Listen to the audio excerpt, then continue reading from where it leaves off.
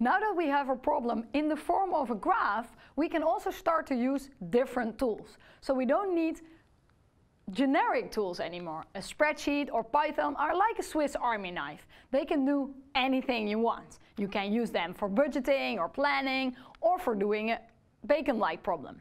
But now we can use a very specialized tool for graphs, very much like the tongs you use to eat snails. They're very, very useful if you're eating snails, but they're pretty useless for eating anything else, like eating pasta or eating rice. They are very specialized tools. And this is also what the graph tool is about. And the graph tool that we are going to use is called Neo4j. And this is a graph database. The word already says it, is really used to store and analyze graphs. So if you download Neo4j, this is a freely available tool. You can just download it for many different platforms. And if you do that, and if you start it, this is what you will see. Just this little box. What do we do? So the first thing that we have to do is select a folder on our file system where we're going to save the database. Just an empty folder, no magic. You just select a folder and you hit start. And this is what you get, the green box with a link. And if you click it, you'll be taken to your web browser. Just a normal browser like Firefox or Chrome will start your normal browser and you will see this. That's it, this is Neo4j. So it's not immediately clear what you have to do here. First, let's start with get our bacon data into the database. So we go back to our spreadsheet and we have to save our spreadsheet as a CSV file, a comma separated value file. This is a format that Neo4j and many other tools can easily read. Maybe you've done this before, you just click save and you select the location where you want to save your CSV file, you enter a file name and then from the drop down list, the save as one, you select CSV. There we go, comma separated value. Oh, we have a dot too many. We remove the dot and we click save. And now we've saved only this worksheet can we save as a CSV. So Excel warns us, it says, I can only save one worksheet and you lose pivot tables. We know that, we're okay with it. We want to save it as a CSV file.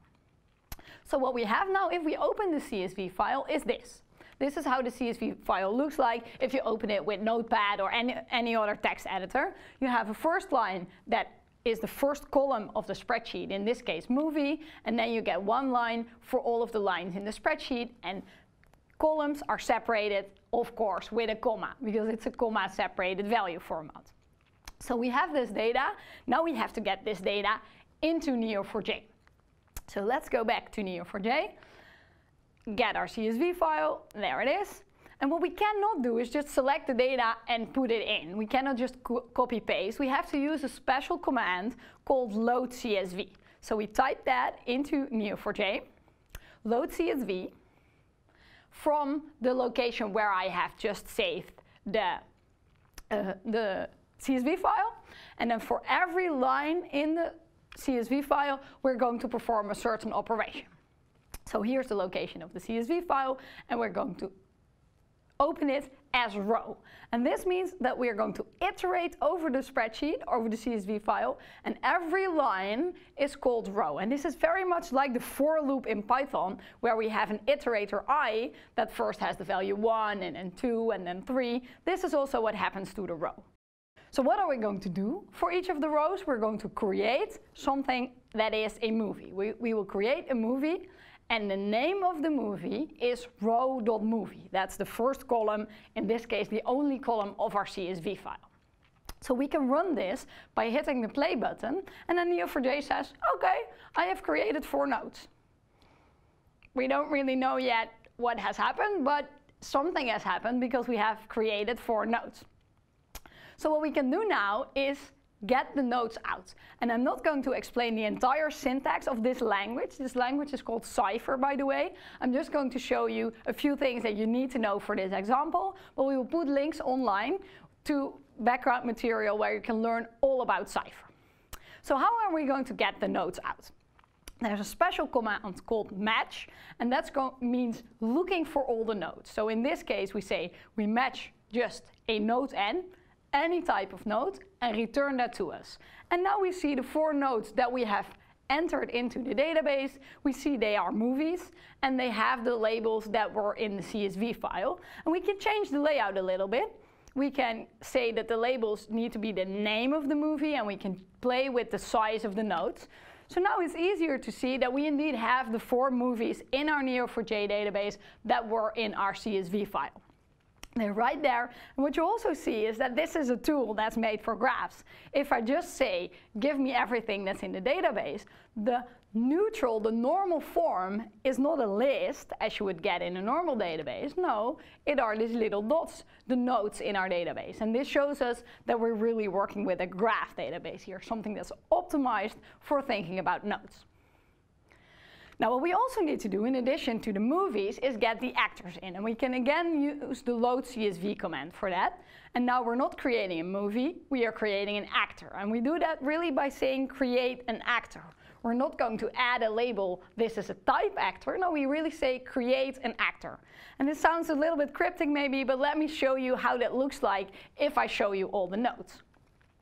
Initially, all of them look gray, and you see that indeed some are an actor and some are a movie. But what we can do is, again, we can play with the layout. We can say we want movies to be green, and then you see all the movie nodes are now green. And we can do the same for actors. Let's say we want to actors to be pink.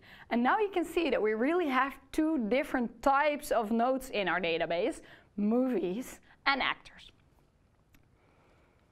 So of course, the next step that we need to perform, now we have the movies and the actors in our database, is make the connection. So again, we have saved the third worksheet of our spreadsheet as a CSV file where we now have two columns, one that's called full name and one that is called movie. And again, we're using the match command now. First, we load the CSV files. We know this by now as a row from the CSV file, but we're going to match each column the first item with an actor and the second item with a movie. And this is how that looks like. So we say match. Yes, we say match. There it is. We say match. We are going to match and A is an actor.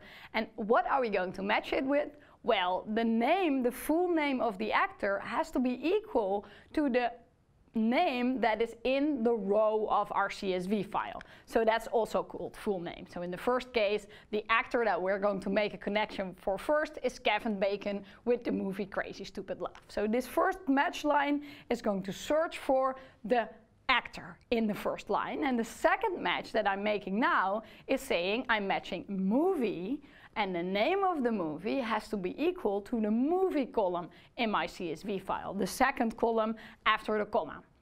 So what these first two things do is find an actor and find a movie. So if I have those two, what I need to do is make a connection between them. And I do that with a create, just as I said, create an actor and create a movie. I'm now creating a link from A, the actor, to the movie, and I'm giving the connection a name. I'm naming it acted. So A acted in M, Kevin Bacon acted in Crazy Stupid Love. And if I execute this create, then again, Neo says, yeah, okay, I have created a bunch of relations. So let's have a look at how it actually is visualized. If I just use the same show me all nodes, then I get a graph instantaneously. So if I just put my data in and I say to Neo4j, give me the data, this is what I get. It's immediately visualized as a graph, and you can see, of course, we know this by now, Kevin Bacon has played in Crazy Stupid Love with Julianne Moore. It's all right there, and it very much looks like the picture that we had in the previous video that we were drawing on the spreadsheet. We get a graph immediately. So we're almost there. We have the right representation now, but now, of course, we still want to perform the calculation of the Bacon number. So let me show you how that goes if you use Neo4j. So what we want to do is calculate a path through the graph, a number of steps like we did Delft, Rotterdam, Groningen, and now we want to have Kevin Bacon, Julianne Moore. So we're matching again, we're looking in the database, but now we're not looking for one node, we're looking for a path through the node from an actor with the name Kevin Bacon to another actor with no specific name, we don't know the name. And how does the path have to look like? Well, it has to be two hops. An actor, a movie, another actor. And what do we want to return? If we have found such a path from Kevin Bacon to another actor, we would like to have the name of the other actor. And if we execute this, indeed, we get all the actors that have a Bacon number of 2 that are one hop away, or in this visualization, two hops away from Kevin Bacon. We can do the same thing for everyone who has Bacon number 3, because then we need four hops. It works. It's that easy to do it with Neo4j.